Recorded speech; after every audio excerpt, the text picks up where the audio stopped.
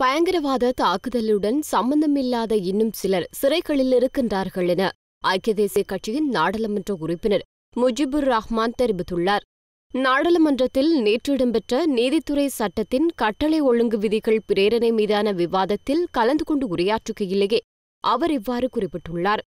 இதன்போது அங்கு தொடர்ந்தும் கருத்து வெளியிட்டுள்ள அவர் எந்த சாட்சியும் குற்றச்சாட்டும் இல்லாமல் கைது செய்யப்பட்டு தடுப்பு காவலில் வைக்கப்பட்டிருக்கும் முஸ்லிம் அறிஞரை விடுதலை செய்ய சட்டம் ஒழுங்குக்கு பொறுப்பான அமைச்சர் என்ற ரீதியில் ஜனாதிபதி நடவடிக்கை எடுக்க வேண்டும் என்றும் அத்துடன் அவர் தொடர்பாக சிங்கள பத்திரிகைகளில் வெளிவரும் செய்திகள் மீண்டும் நாட்டுக்கு இனவாத பிரச்சினையை ஏற்படுத்த திட்டமிடுகின்றதா என்ற சந்தேகத்தை ஏற்படுத்துகின்றது எனவும் தெரிவித்தார்.